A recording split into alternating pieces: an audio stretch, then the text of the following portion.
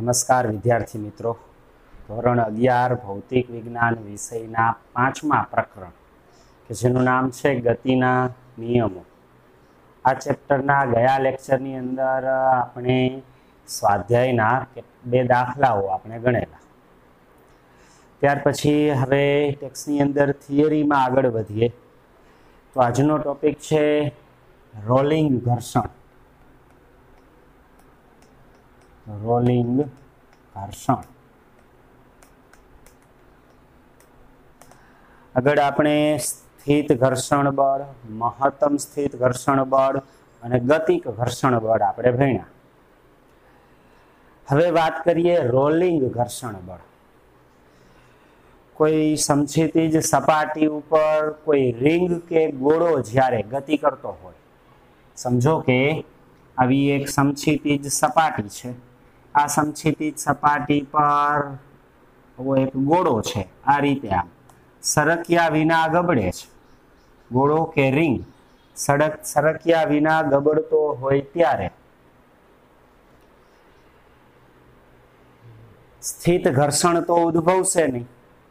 આ ગોળો છે, એ ગોળો કે રિંગ સપાટી પર ગતિ કરતા કરતા અમુક અંતર કાપી અને ઊભો રહી જાય છે. એનો અર્થ એવો કે કંઈક ઘર્ષણ બળ લાગે છે. સામાન્ય કોઈ લીસો દડો હોય, બરાબર? એક દડાને કોઈ સમછિતિત સપાટી ઉપર આપણે રેડવીએ. રેડવીએ એટલે આમ. સરક્યા વિના ગબડતો ગબડતો આગળ વધે તો અમુક અંતર કાપી અને ઊભો રહી જાય છે. એટલે એટલે કે ગતિનો વિરોધ થાય છે. તો ગતિનો વિરોધ થતું આવું ઘર્ષણ બળ કે જેમાં અહીં ગતિ થાય છે, તેથી સ્થિત ઘર્ષણ બળ તો છે નહીં. અને બીજી વાત કે અહીં સપાટીનો સંપર્ક સપાટી, એનું ક્ષેત્રફળ સતત, એનો ભાગ સતત બદલાય છે. હાલમાં ગોળાની કે રિંગની આ સપાટી છે જમીન સાથે સંપર્કમાં છે.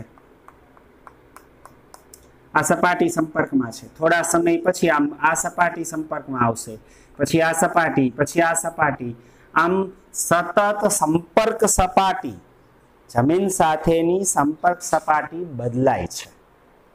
જો એકને એક સપાટી આમ ઘસાતી હોત, તો ગતિક ઘર્ષણ બળ ઉત્પન્ન થાય. પણ ગતિક ઘર્ષણ બળ ઉદ્ભવતું નથી. સ્થિત ઘર્ષણ બળય નથી લાગતું, ગતિક ઘર્ષણ બળય નથી. છતાં ગોળો ગતિ કરતા કરતા, સરક્યા વિના ગબડતા ગબડતા એ ઊભો રહી જાય છે. એટલે કે ગતિનો વિરોધ કરતું એક ઘર્ષણ બળ તો છે જ. આવું જ્યારે કોઈ સપાટી પર પદાર્થ સરક્યા વિના ગબડતો હોય ત્યારે ગતિનો વિરોધ કરતું જે ઘર્ષણ બળ લાગે તેને રોલિંગ ઘર્ષણ કહેવાય. આમ જ્યારે પણ કોઈ ગોળાકાર પદાર્થ અથવા તો કોઈ રિંગ એ સરકિયા વિના ગબડે છે. ત્યારે સરકિયા વિના ગબડવાની પરિસ્થિતિમાં રોલિંગ ઘર્ષણ ઉત્પન્ન થાય છે. ગતિનો, અપેક્ષિત ગતિનો વિરોધ કરતું આવું સરકિયા વિના ગબડવાની સ્થિતિમાં જે બળ લાગે એ ઘર્ષણ બળ, એ રોલિંગ ઘર્ષણ બળ છે. રોલિંગ ઘર્ષણ બળનું મૂલ્ય ખૂબ જ નાનું હોય. સ્થિત ઘર્ષણ બળ અને ગતિક ઘર્ષણ બળ કરતા એ રોલિંગ ઘર્ષણ અત્યંત સૂક્ષ્મ હોય છે. મહત્તમ સ્થિત ઘર્ષણ બળથી ગતિક ઘર્ષણ બળ ઓછું હોય વ્યવહારમાં અને આ બંનેથી રોલિંગ ઘર્ષણ બળ એનું મૂલ્ય નાનું હોય છે. રોલિંગ ઘર્ષણ તો ઘણીવાર સ્થિત કે ગતિ ઘર્ષણ કરતા સોમાં ભાગનું કે હજારમાં ભાગનું હોય છે.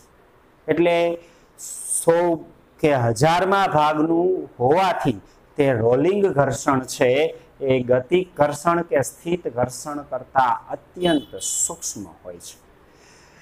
રોલિંગ ઘર્ષણ એનું ઉદ્ગમ સ્થિત અને ગતિ ઘર્ષણની જેમ આ ઉદ્ગમ છે તે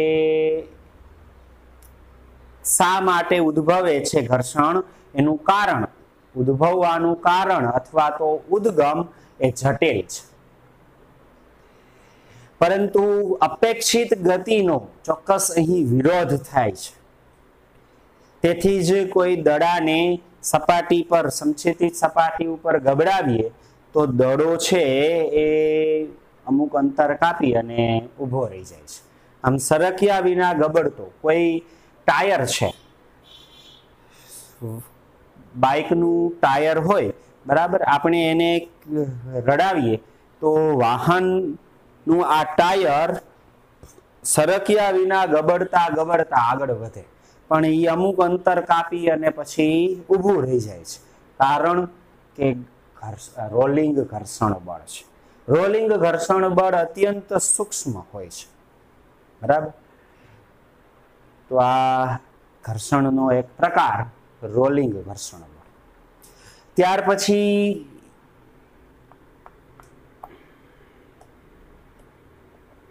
આ ઘર્ષણના ગેરફાયદા જોઈએ. ઘર્ષણના ગેરફાયદા જોઈએ. ઘણા બધા કિસ્સામાં ઘર્ષણ બળ એ અનિચ્છનીય છે. ઘર્ષણ બળ એ અનિચ્છનીય છે, સાથે સાથે ઉર્જાનો વ્યય કરે છે. ઘણા બધા કિસ્સામાં નથી જોઈતું, છતાં ઉદ્ભવે છે. એટલે અનિચ્છનીય છે.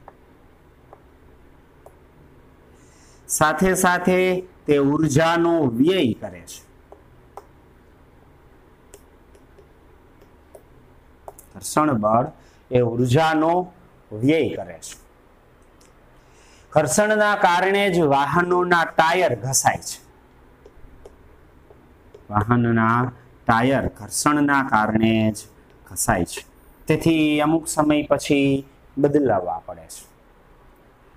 ઘર્ષણના કારણે વાહનો કે કોઈ યંત્રના સ્પેર પાર્ટ્સ ઘસાય છે. ઘર્ષણના કારણે જ યંત્રના ભાગો, યંત્રના જુદા જુદા ભાગો એ ઘસાય છે. અને એ ઘર્ષણ વિરુદ્ધ કાર્ય કરવા માટે એ ઉર્જાનો વ્યય કરે છે. ઘર્ષણના લીધે જ આપણા શૂઝ કે ચપ્પલ છે એના તળિયા ઘસાઈ જાય, બદલવા પડે. કહેવાનો અર્થ આ બધી પરિસ્થિતિમાં ઘર્ષણ છે એ ગેરફાયદા ધરાવે છે. તેથી વાહનોની અંદર યંત્ર છે. એ વારંવાર ઘસાવાના કારણે યંત્રનો કોઈ પાર્ટસ છે, એને બદલવો પડે. વાહનના ટાયર ઘસાય, યંત્રના જુદા જુદા સ્પેર પાર્ટસ ઘર્ષણના કારણે બદલવા પડે. આ બધા કિસ્સામાં ઘર્ષણ છે એ નકામું છે. ઉર્જાનો વ્યય કરતું પરિબળ. હવે જો એ ઘર્ષણ આવા ગેરફાયદા ધરાવતું હોય, તો ઘર્ષણ ઘટાડવું પડે. તો હવે જોઈએ ઘર્ષણ ઘટાડવાના ઉપાયો. ઘર્ષણ ઘટાડવાના ઉપાયો.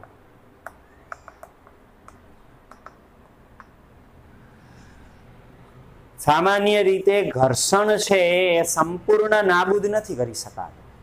ઘર્ષણ છે એ સંપૂર્ણ નાબૂદ કરી શકાતું નથી.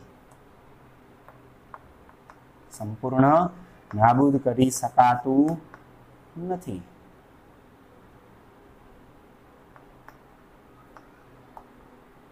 પરંતુ ઘટાડી શકાય છે. ઘર્ષણને ઘટાડી શકાય. ઘર્ષણ ઘટાડવા માટે કેટલાક ઊંજણ દ્રવ્યનો ઉપયોગ કરવામાં આવે છે. ઘર્ષણ ઘટાડવા ઊંજણ દ્રવ્યો વપરાય. કયા કયા ઊંજણ દ્રવ્યો? તો કે ઘર્ષણ ઘટાડવા માટે વાહનોમાં એન્જિન ઓઇલ મૂકવામાં આવે. આ એન્જિન ઓઇલ વાહનના યંત્રોના જ્યાં બે સપાટી ઘસાતી હોય, ત્યાં વચ્ચેના ભાગમાં ઓઇલ આવે અને ઘર્ષણ ઘટાડે છે. બે સપાટી વચ્ચે ઓઇલ આવવાથી ઘર્ષણ ઘટે છે. તેથી ઓઇલ, ઊંઝણ તેલ,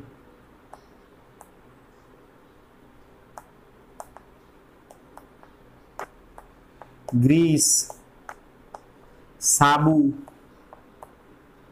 પાણી, ઘણીવાર હવા વગેરે જેવા દ્રવ્યો છે એ ઘર્ષણ ઘટાડવા માટે ઉપયોગી છે. ઊંજણ તરીકે આ દ્રવ્યોનો ઉપયોગ થાય. યંત્રોમાં ગ્રીસ મૂકવામાં આવે. વાહનોમાં ઓઇલ રાખવામાં આવે. આ ઓઇલ છે, એન્જિનના અલગ અલગ પાર્ટ્સ વચ્ચેનું ઘર્ષણ ઘટાડે છે. ઊંજણ તેલ, ખાસ પ્રકારનું તેલ ઊંજણ તેલ છે એ વાહન, યંત્રો છે, એનું ઘર્ષણ ઓછું કરે છે. સાબુ, પાણી, હવા હવા પણ ઘણી પરિસ્થિતિમાં ઘર્ષણ ઘટાડવાનું કામ કરે છે. તો આ બધા જ દ્રવ્ય વગેરે ઊંજણ દ્રવ્યો છે, કે જે ઘર્ષણ ઘટાડવા માટે વપરાય છે. બહેનો છે એ હાથમાં બંગડી પહેરે તો બંગડી આમ સીધી ન પહેરાતી હોય તો બંગડી પહેરવા માટે એમ સરળતાથી આમ ન પહેરાય, ત્યારે હાથ છે એ સાબુવાળા કરે. જેથી કરીને હાથની સપાટી, સાબુથી હાથ ધોવે અને હાથ છે એ સાબુની સપાટી હાથની સપાટી પર સાબુ રહેલો હોય અને બંગડી પહેરે, તો એ બંગડી એ ઘર્ષણ રહિત સરળતાથી ચડી જાય. રેડી એટલે એ જ રીતે છોકરાઓ કડું પહેરતા હોય. તો એ કડું જ્યારે હાથમાં આમ ચડાવે, ત્યારે આ રીતે સાબુનો પણ આવા ઊંઝણ સોરી ઊંઝણ દ્રવ્ય તરીકે ઉપયોગ કરે છે. ટૂંકમાં આવા ઘણા બધા દ્રવ્યો છે કે જે ઘર્ષણ ઘટાડવાનું કામ કરે છે. વાહનોમાં, યંત્રોમાં ઘર્ષણ ઘટાડવા માટે બોલ બેરિંગ્સ વાપરવામાં આવે. ઘર્ષણ ઘટાડવા બોલ બેરિંગ્સ નો ઉપયોગ થાય. બોલ બેરિંગ્સ છે એ ઘર્ષણ ઘટાડી આપે. શા માટે? કેવી રીતે? બે સપાટી વચ્ચે સ્થિત કે ગતિક ઘર્ષણ બળ થતું હોય ત્યારે સ્થિત કે ગતિક ઘર્ષણ બળનું મૂલ્ય વધુ હોય. આપણને ખબર છે, હમણાં જોયું કે રોલિંગ ઘર્ષણ છે એ સ્થિત કે ગતિક ઘર્ષણ કરતા સોમાં કે હજારમાં ભાગનું હોય. ઘણું બધું નાનું હોય. તેથી ઘર્ષણ ઘટાડવા માટે બોલ બેરિંગ્સ વપરાય. બે, આ રીતે આમ સપાટી વચ્ચે નાના નાના આવા છરાઓ ગોઠવી દેવામાં. નાના નાના બોલ રાખવામાં આવે. કોઈ બે સપાટી સંપર્કમાં આવતી હોય એ સપાટી વચ્ચે આ બોલ બેરિંગ્સ આવવાથી સીધી સંપર્ક સપાટીમાં ગતિક ઘર્ષણ બળ, ગત- સાપેક્ષ ગતિ દરમિયાન ઉત્પન્ન થાય. પણ જો બોલ બેરિંગ્સનો ઉપયોગ કરવામાં આવે, તો આ બોલ છે આમ રોલિંગ કરશે. એટલે કે સરકિયા વિના ગબડશે. પરિણામે ગતિ ઘર્ષણની જગ્યાએ રોલિંગ ઘર્ષણ ઉત્પન્ન થશે અને રોલિંગ ઘર્ષણ છે એનું મૂલ્ય પ્રમાણમાં ગતિ ઘર્ષણ કરતા નાનું હોવાથી ઘર્ષણ ઘટી જશે. તેથી ઘર્ષણ ઘટાડવાનો મહત્વનો એક ઉપાય યંત્રશાસ્ત્રમાં યંત્રની અંદર આ હકીકતનો ઉપયોગ કરવામાં આવે અને તે વાત એટલે બોલ બેરિંગ્સ છે. બોલ બેરિંગ્સથી ઘણું બધું ઘર્ષણ છે એ ઘટાડી શકાય. તેથી મોટા યંત્રમાં જ્યાં બે સપાટી વચ્ચે સાપેક્ષ ગતિ થતી હોય, ત્યાં વચ્ચે રોલિંગ ઘર્ષણ ઉદ્ભવવા માટે, ઉત્પન્ન કરવા માટે બોલ બેરિંગ્સ ગોઠવી દેવામાં આવે. જેથી કરીને ઘર્ષણનું મૂલ્ય ઘટી જાય. તો આ બધા ઘર્ષણ ઘટાડવાના આ ઉપાયો છે. ઘર્ષણ જેમ ગેરફાયદા ધરાવે છે, એમ ઘર્ષણને કેટલાક ફાયદા પણ છે. તો હવે જોઈએ ઘર્ષણના ફાયદા. ઘર્ષણનો પહેલો ફાયદો જોઈએ તો વાહનોને ગતિ કરવા માટે જરૂરી બાહ્ય બળ, ઘર્ષણ બળ જ પૂરું પાડે છે. વાહનોને ખાસ મહત્વની વાત, ગતિ કરવા જરૂરી બાહ્ય બળ, ઘર્ષણ બળ પૂરું પાડે છે.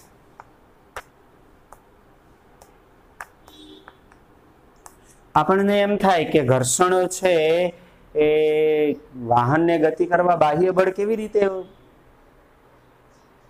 બાહ્ય બળ કેવી રીતે લગાડે? તો ખરેખર વાહનની ગતિ માટે જરૂરી બાહ્ય બળ ઘર્ષણથી જ ઉત્પન્ન થાય છે. વાહનના ટાયર અને જમીન અથવા રસ્તા વચ્ચે જે ઘર્ષણ ઉત્પન્ન થાય એ ઘર્ષણના કારણે જ વાહનોને બાહ્ય બળ મળે છે. તેથી વાહનોની ગતિ માટે જવાબદાર બાહ્ય બળ ઘર્ષણ બળ જ પૂરું પાડે. કોઈ કાર છે એ કીચડ કે કાદવની અંદર ફસાય, પછી કારને આપણે ચાલુ કરી અને એ લીવર દઈએ, તો કારના ઘણીવાર તમે જોયું હશે કે કારના ટાયર છે એ ફરતા હશે. છતાં કાર તો ત્યાં ને ત્યાં રહી. શા માટે? તો કે કાદવ કીચડની અંદર વાહનના ટાયર અને જમીન વચ્ચે એ કીચડ છે એ ઊંઝણનું કામ કરે. અને ઊંઝણના કારણે ઘર્ષણ પૂરું મળે નહીં. અને જો ઘર્ષણ ન મળે, તો વાહનને ઘર્ષણ ન થાય, તો વાહનને ગતિ કરવાનું બાહ્ય બળ મળે નહીં. તો વાહન ગતિ કરે નહીં. તેથી કાદવ કીચડમાં ફસાયેલું વાહન છે એ ચાલી શકતું નથી. વાહનનું ટાયર ત્યાં ને ત્યાં ફરે. બાઇક ગારામાં ઘૂસી જાય અને પછી ઘણીવાર આપણે લીવર દઈએ તો વ્હીલ છે એમને મિયા નિયા ફેરા રાખે. આગળ ન જાય વાહન. એનું કારણ તો કે બાહ્ય બળ જ એને મળતું નથી. ઘર્ષણ નથી તો બાહ્ય બળ મળે નહીં તો વાહન ગતિ કરે નહીં. તેથી ઘર્ષણનો મહત્વનો ફાયદો વાહનોને દરેક પ્રકારના. જમીન ઉપર ગતિ કરતા વાહનોને ગતિ કરવા જરૂરી બાહ્ય બળ. કોણ પૂરું પાડે? ઘર્ષણ બળ પૂરું પાડે છે. એમસીક્યુમાં યાદ રાખવું વાહનોની ગતિ માટે જરૂરી બાહ્ય બળ. કોણ પૂરું પાડે? ઘર્ષણ બળ, બાહ્ય બળ પૂરું પાડે છે. ઘર્ષણના કારણે જ આપણે જમીન પર ચાલી શકીએ છીએ. ઘર્ષણને લીધે જ આપણે જમીન પર ચાલી શકીએ છીએ.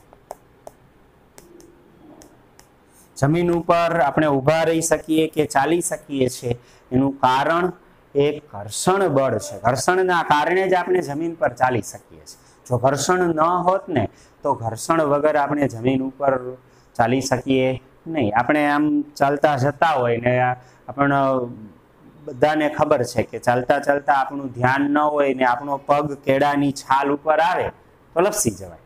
બરાબર ને? શું કામ? તો કે આપણા પગ અને જમીન વચ્ચે કેળાની છાલ છે, એ ઊંઝણનું કામ કરે. અને એ ઊંઝણના કારણે આપણે ઘર્ષણ ઘટી જાય, તો ઘર્ષણ ઘટવાથી આપણે લપસી જાય છે. તેથી આપણે જમીન ઉપર ખરેખર ઊભા રહી શકીએ કે ચાલી શકીએ છીએ એની પાછળ આ ઘર્ષણ જ જવાબદાર છે. તેથી ઘર્ષણને લીધે જ આપણે જમીન પર ચાલી શકીએ છીએ. ઘર્ષણને લીધે જ પેન વડે કાગળ પર લખી શકીએ છીએ. પેન, પેન્સિલ વડે લખી શકીએ છીએ. એનું કારણ ઘર્ષણ છે. ઘર્ષણને લીધે જ કાગળ પર પેન વડે કે પેન્સિલ વડે લખી શકાય છે.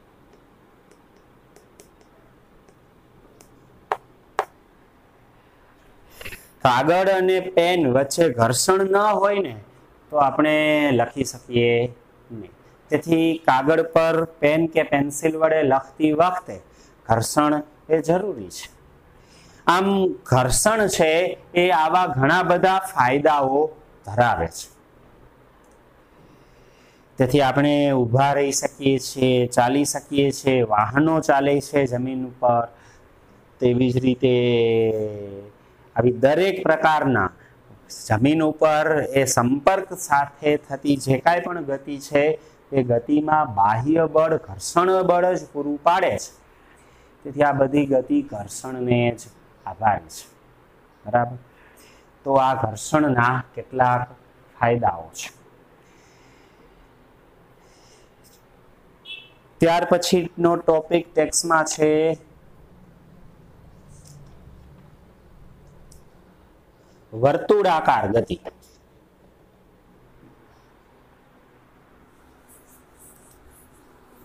વર્તુળાકાર ગતિ. આગળના ચેપ્ટરમાં આપણે નિયમિત વર્તુળમય ગતિ ભણ્યા હતા.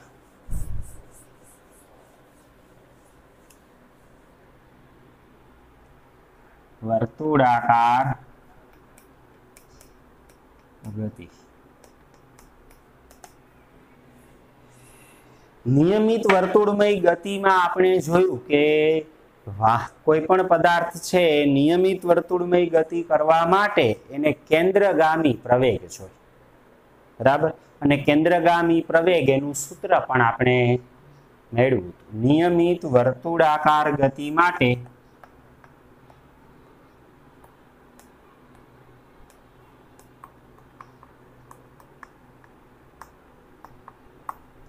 કેન્દ્રગામી પ્રવેગ.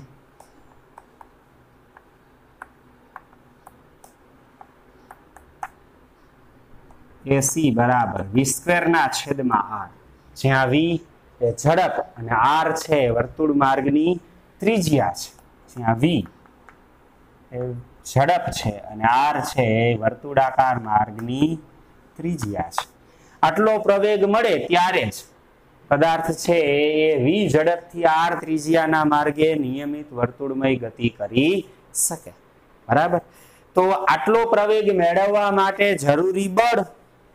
આ પ્રવેગ માટે જરૂરી બળને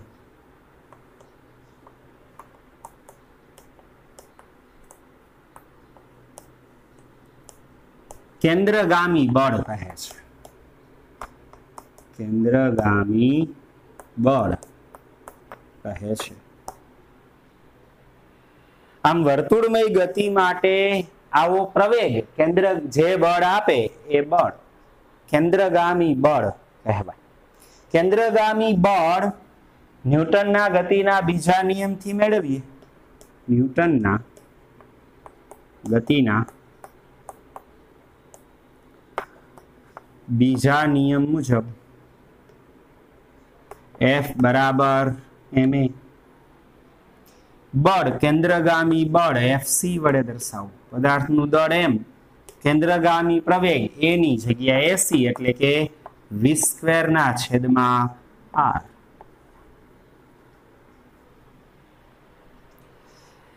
આ કેન્દ્રગામી બળનું સૂત્ર છે એફસી બરાબર એમ વી સ્ક્વેરના છેદમાં જ્યારે એમ દળના પદાર્થને આટલું એમવી સ્ક્વેરના છેદમાં આર જેટલું કેન્દ્રગામી બળ મળે, ત્યારે તે આર ત્રિજ્યાના વર્તુળાકાર માર્ગે વી જેટલી અચળ ઝડપથી નિયમિત વર્તુળમય ગતિ કરી શકે. આમ નિયમિત વર્તુળમય ગતિ માટે જવાબદાર કેન્દ્રગામી બળ સૂત્ર છે એમ વી સ્ક્વેરના છેદમાં આર. કોઈ પણ પદાર્થને નિયમિત વર્તુળમય ગતિ કરવા માટે કેન્દ્રગામી બળ જોઈ. જો કેન્દ્રગામી બળ મળે, તો જ પદાર્થ નિયમિત વર્તુળમય ગતિ કરી શકે. નહીતર નિયમિત વર્તુળમય ગતિ કરી શકે નહીં. સૂર્યની આસપાસ પૃથ્વીની નિયમિત વર્તુળમય ગતિ માટે જરૂરી કેન્દ્રગામી બળ એ ગુરુત્વાકર્ષણ બળ પૂરું પાડે છે. તેથી સૂર્યની આસપાસ પૃથ્વી કે ગ્રહો ગતિ કરે છે. એનું કારણ તો કે સૂર્ય છે એ ગ્રહને પોતાની તરફ આકર્ષે છે. ગુરુત્વાકર્ષણ બળથી આકર્ષે છે. આ આકર્ષી બળ એ કેન્દ્રગામી બળ પૂરું પાડે. તેથી સૂર્યની આસપાસ છે એ ગ્રહો છે એ વર્તુળમય ગતિ કરી શકે. આમ કોઈ પણ પદાર્થને નિયમિત વર્તુળમય ગતિ કરવા કેન્દ્રગામી બળ જોઈએ. આવી જ રીતે ઇલેક્ટ્રોન કે જે પરમાણુમાં ન્યુક્લિયસની આસપાસ પરિભ્રમણ કરે છે. તો પરમાણુમાં ન્યુક્લિયસની આસપાસ ઇલેક્ટ્રોનને પરિભ્રમણ કરવા જરૂરી કેન્દ્રગામી બળ એ કુલંબ બળ, વિદ્યુત બળ પૂરું પાડે છે. ન્યુક્લિયસમાં ધન વીજભાર છે, ઇલેક્ટ્રોનનો ઋણ વીજભાર છે. ઋણ અને ધન વીજભાર એકબીજાને આકર્ષે. તેથી ન્યુક્લિયસનો ધન વીજભાર ઇલેક્ટ્રોન કે જે ઋણ વીજભારિત છે, તેને પોતાની તરફ આકર્ષે છે. આ આકર્ષી બળ એને ફરવા માટે જરૂરી કેન્દ્રગામી બળ પૂરું પાડે છે. આ કારણોથી ઇલેક્ટ્રોન છે ન્યુક્લિયસની આસપાસ વર્તુળાકાર માર્ગે નિયમિત વર્તુળમય ગતિ કરી શકે. ટૂંકમાં કોઈ પણ પદાર્થને નિયમિત વર્તુળમય ગતિ કરવા માટે કેન્દ્રગામી બળ જોઈ. કોઈક ને કોઈક બળ કેન્દ્રગામી બળ એને પૂરું પાડે તો જ એ નિયમિત વર્તુળમય ગતિ કરી શકે. હવે આ નિયમિત વર્તુળમય ગતિ માટે સમછીતી જ વક્રાકાર માર્ગે મહત્તમ સલામત ઝડપનું સૂત્ર મેળવીએ. સમછીતી જ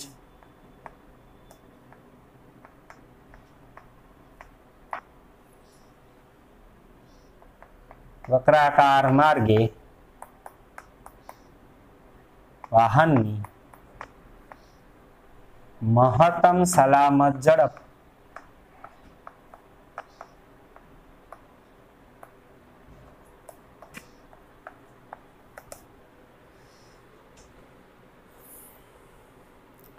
સમજો કે આપણે વાહન લઈને જતા હોય ને ક્યાંક વળાંક આવે, તો આપણે વાહનને ધીમું પાડીએ છીએ. આપણને ખબર છે કે જો વાહનને ધીમું ન પાડીએ, તો વાહન છે એ રસ્તાની બહાર ફંગોળાઈ જાય. એટલે વળાંક વખતે વાહનની મહત્તમ સલામત ઝડપ કેટલી? સૂત્ર મેળવે ધારો કે આર ત્રિજ્યાનો આવો વર્તુળાકાર માર્ગ છે. જેની ત્રિજ્યા આર છે.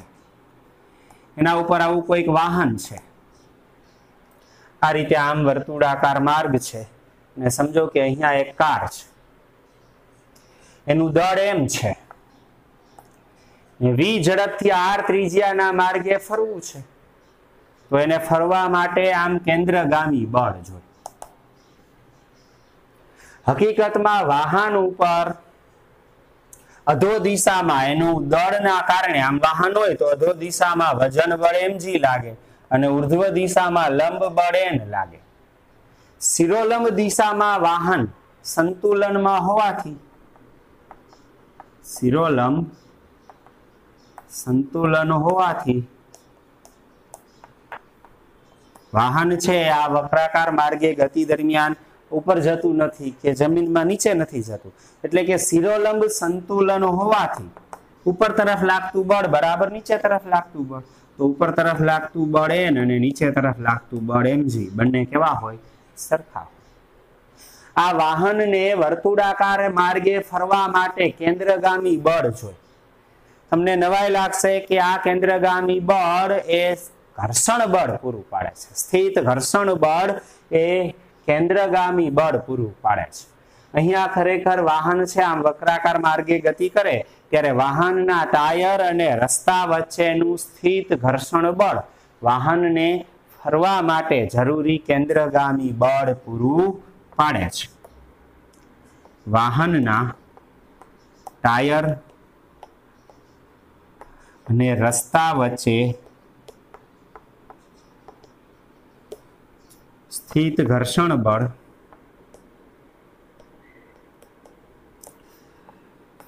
વાહનને ગતિ કરવા જરૂરી કેન્દ્રગામી બળ પૂરું પાડે છે. તેથી કેન્દ્રગામી બળ એ સ્થિત ઘર્ષણ બળ પૂરું પાડે. સ્થિત ઘર્ષણ બળ કેન્દ્રગામી બળ ક્યારે પૂરું પાડી શકે? જો કેન્દ્રગામી બળ એ મહત્તમ સ્થિત ઘર્ષણ બળથી નાનું અથવા એના જેટલું હોય તો એ બળ ને કામ આવે. તેથી વાહનની સલામત ગતિ માટે, વાહનની સલામત ગતિ માટે. કેન્દ્રગામી બળ less than or equal to મહત્તમ સ્થિત ઘર્ષણ બળ.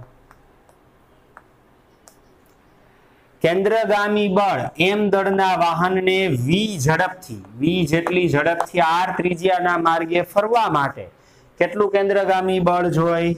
એમ વી સ્ક્વેર ના છેદમાં આર જેટલું.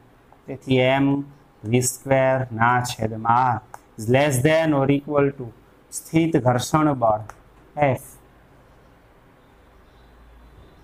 મહત્તમ સ્થિત ઘર્ષણ બળ એફ એસ મેક્સિમમ તેથી મહત્તમ સલામત ઝડપ મેળવવા માટે આ એફ એસ મેક્સિમમ પરંતુ મહત્તમ આ સ્થિત ઘર્ષણ બળ એફ એસ મેક્સિમમ ઘર્ષણના નિયમ મુજબ શું લખી શકાય? મ્યુ એસ એન પરંતુ એફ એસ મેક્સિમમ બરાબર મ્યુ એસ એન તેથી એમ વી સ્ક્વેરના છેદમાં R less than or equal to mu S N પરંતુ એન એટલે તો સિરોલમ સંતુલન હોવાથી એમજી તેથી એમ વી સ્ક્વેરના છેદમાં R is less than or equal to mu S N એટલે એમજી બંને બાજુથી એમ એમ કેન્સલ તેથી V square is less than or equal to mu S RG તેથી v is less than or equal to વર્ગમૂળમાં mu S R G મોટામાં મોટી સલામત ઝડપ આના જેટલી. આનાથી ઓછી ઝડપ એ સલામત ઝડપ થાય. મ્યુ એસ આર જી વર્ગમૂળમાં મ્યુ એસ આર જી કરતા ઝડપ ઓછી એના જેટલી હોવી જોઈએ. જો એના જેટલી હોય તો એ વધુમાં વધુ સલામત ઝડપ છે. તેથી વી મેક્સિમમ બરાબર વર્ગમૂળમાં મ્યુ એસ આર જી વાહનને આર ત્રિજ્યાના માર્ગે સલામત ગતિ કરવા માટે, સલામત રીતે આર ત્રિજ્યાના વળાંકમાં વળાંક લેતી વખતે મોટામાં મોટી મહત્તમ સલામત રહી શકે તેવી ઝડપ વર્ગમૂળમાં મ્યુ એસ આર જી છે. આ સૂત્રમાં દળ એમ નથી, તેથી આ સલામત ઝડપ એ દળ એમ થી સ્વતંત્ર છે. દળ પર આધારિત નથી. રસ્તા ઉપર ઘણીવાર વળાંક હોય તો ત્યાં સ્પીડ લિમિટનું બોર્ડ મારેલું હોય. રાઉન્ડ કરીને અંદર લખેલું હોય ત્રીસ કે ચાલીસ. બરાબર? એનો અર્થ શું? તો કે તે વધુમાં વધુ સલામત ઝડપ છે. આ રીતે વળાંકવાળા રસ્તા પર રસ્તા પર ક્યાંક વળાંક હોય તો ત્યાં અમુક હદથી વધારે સ્પીડ હોય. તો આપણી ઝડપ જો વધુ હોય અને એ ઝડપ વધુ હોય અને આ શરતનું પાલન ન થાય, તો ઝડપ વધુ હોય તો કેન્દ્રગામી બળ વધુ જોશે. જો કેન્દ્રગામી બળ મહત્તમ સ્થિત ઘર્ષણ બળથી વધુ જોતું હોય તો પૂરું પડશે નહીં અને પદાર્થને કેન્દ્રગામી બળ મળે નહીં તો વર્તુળમય ગતિ થાય નહીં. તેથી ઝડપ ઘટાડવી પડે અને એ ઝડપ એ વધુમાં વધુ મહત્તમ સલામત ઝડપ આટલી હોય છે. તેથી ઘર્ષણાંક, વાહનના ટાયર અને રસ્તા વચ્ચેનો ઘર્ષણાંક, ત્યાંના વળાંકની ત્રિજ્યા, એની ગણતરી કરીને આ રીતે મહત્તમ સલામત ઝડપ નક્કી કરી અને આવું સાઇન બોર્ડ રસ્તા ઉપર મૂકેલું હોય. બરાબર? આમ વળાંકવાળા માર્ગ ઉપર મહત્તમ સલામત ઝડપ સમછેતી જ વક્રાકાર માર્ગે આટલી છે. આ ઝડપ દળથી સ્વતંત્ર છે. આ સાઇન બોર્ડમાં એવું ન લખેલું હોય કે સાયકલ માટે આટલી મહત્તમ સલામત ઝડપ કે બાઇક માટે આટલી કાર, બધા માટે મહત્તમ સલામત ઝડપ. બધાના દળથી સ્વતંત્ર છે. વળાંક જે છે એની ત્રિજ્યા ફિક્સ છે. જે તો અચળ છે અને મ્યુએસ વાહનના ટાયર અને રસ્તા વચ્ચેનો ઘર્ષણાંક છે એ નિશ્ચિત હોય. તો પછી વાહન ગમે એ હોય, સાયકલ હોય તોય ભલે કે બાઇક હોય તો ભલે, કે કાર કે ટ્રક હોય, અલગ અલગ દળના વાહનો માટે પણ મહત્તમ સલામત ઝડપ એક જ સરખી હોય. રેડી તેથી આવા સાઇન બોર્ડ મૂકી અને મહત્તમ સલામત ઝડપ છે એ રસ્તા ઉપર અંકિત કરવામાં આવે. જેથી કરીને વળાંકવાળા રસ્તા ઉપર આપણે ફંગોળાઈ ન જાય સ્લીપ ન થાય. તેથી સૂત્ર અને એની તારવણી આ ખાસ મહત્વની વાત છે, આપણે યાદ રાખશું. સમછીતી જ. વક્રાકાર માર્ગે વાહનની મહત્તમ સલામત ઝડપ વર્ગમૂળમાં મ્યુ એસ આર જી છે આ જ રીતે ઢોળાવવાળા વક્રાકાર માર્ગે પણ મહત્તમ સલામત ઝડપ એનું સૂત્ર આપણે આવતા લેક્ચરમાં જોશું. બરાબર? તો આજે અહીંયા સુધી રાખીએ. રોલિંગ ઘર્ષણ, ઘર્ષણના ગેરફાયદા, ઘર્ષણ ઘટાડવાના ઉપાયો ઘર્ષણના ફાયદાઓ, વર્તુળમય ગતિ માટે કેન્દ્રગામી બળ અને સમક્ષિતિજ વળાંકવાળા માર્ગ ઉપર અથવા વક્રાકાર માર્ગે વાહનની મહત્તમ સલામત ઝડપ છે. અહીંયા મહત્વની વાત કેન્દ્ર તરફનું કેન્દ્રગામી બળ વાહનને આમ વર્તુળાકાર માર્ગે ફરવા કેન્દ્રગામી બળ એ ટાયર અને રસ્તા વચ્ચે સ્થિત ઘર્ષણ બળ છે એ કેન્દ્રગામી બળ પૂરું પાડે છે. બરાબર? તો એની મહત્તમ સલામત ઝડપનું આ સૂત્ર છે. તો વિદ્યાર્થી મિત્રો, આજે અહીંયા સુધી રાખી આજના આ ટોપિક વ્યવસ્થિત તૈયાર કરજો. એમાં આ સૂત્રની તારવણી એ અગત્યનો પ્રશ્ન છે. ઘણી વાર પરીક્ષામાં પૂછાય છે. રેડી સૂત્ર તરીકે અને એમસીક્યુમાં ગણતરી કરવા માટે સૂત્રનો ઉપયોગ થાય અને થિયરીમાં પણ પૂછાઈ શકે. વ્યવસ્થિત તૈયાર કરજો, ન સમજાય ત્યાં. કહેજો. સારું, ચાલો આજે અહીંયા સુધી રાખીએ. નમસ્કાર.